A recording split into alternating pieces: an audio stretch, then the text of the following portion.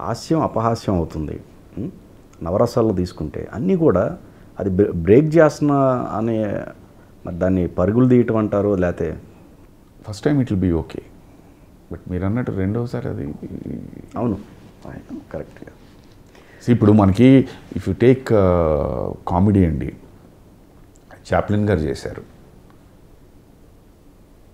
Slapstick comedy ఉంది దాంట్లో కూడా బట్ ఇదిగా ఉంది. బట్ ఓవర్ డూగా ఉండదు. అవును. లాన్ హార్డీ వాళ్ళది ఉండేది ఓవర్ డూయింగ్ ఉండదు. ఇవాళ ఉన్న- కాలం అంటే ఓవర్ డూయింగ్ ఇప్పుడు ఎలాగే బస్టర్ కేట్ని కూడా.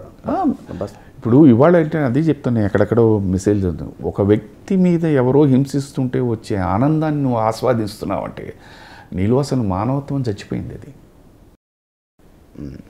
ఒక మనిషిగా ఉంటే ఎవరైనా కూడా ఎందుకే అది? అంటే నువ్వు అక్కడ అడ్డు ఆపగలిగితే డెఫినెట్లీ మనిషి అంటే ఏంటండి? మానవత్వం ఉన్న ఋషి అని. అందుకే మనిషి అన్నారు. మానవత్వం పోయింది ఋషి పోయింది.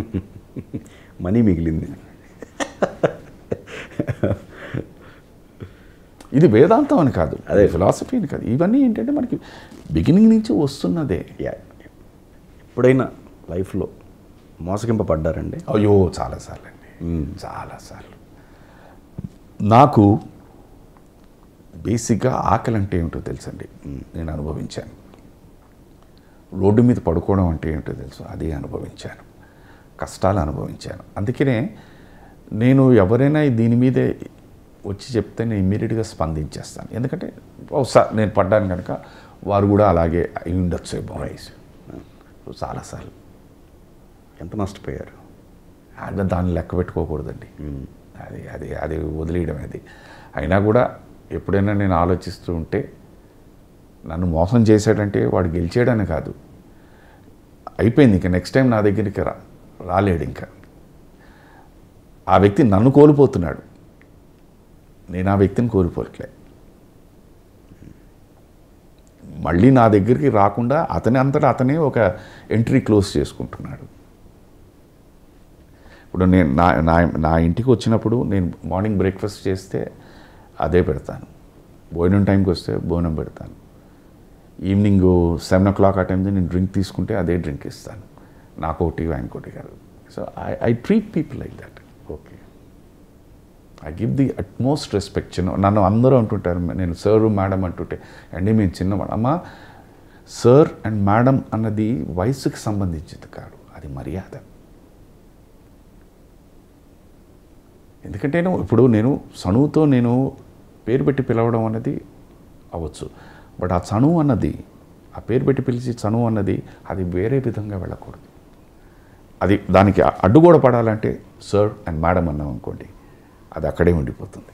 Yes yes it is not age it is just respect right sir or a madam అంటే మన పాతకాలంలో ఏంటంటే సార్ అన్నది వాళ్ళు ఏదో అచీవ్ చేసిన తర్వాత సార్ అని పిలుస్తారు అంటారు. అలా it is now become a common word ఏం సార్ బాగున్నారా? అండంలో తప్పేం ఉంది? నాకు అర్థం కాదు ఓన్లీ బాగా కీర్తి పేరు ప్రతిష్ట సంపాదించిన వాళ్ళే సార్ అని అవసరం ఏనన్నా బాగున్నావా? అన్నావు అనుకోండి ఏమి మనం ఏం నష్టపోతున్నాం? ఏమి నష్టపో? అవును. ఏం నష్టపోవట్లేదు. ఎగ్జాక్ట్లీ ఏమా బాగున్నావా? ఆ- పదంలోనే ఉంది ఒక మర్యాద. నాన్న అమ్మ రైట్ మన అంటే మన నాన్నకే మనం ఎంత మర్యాద ఇస్తాం అందుకని ఏ నాన్న బాగున్నావా ఏ అమ్మ బాగున్నా అమ్మకి. అది ఆటోమేటిక్లీ తెలియకుండా ఆ మర్యాద. మర్యాద. ఆ మర్యాద ఎప్పుడైతే వచ్చిందో నీ ఆలోచన విధం అంతా మారిపోతుంది. Right that is the basic philosophy philosophy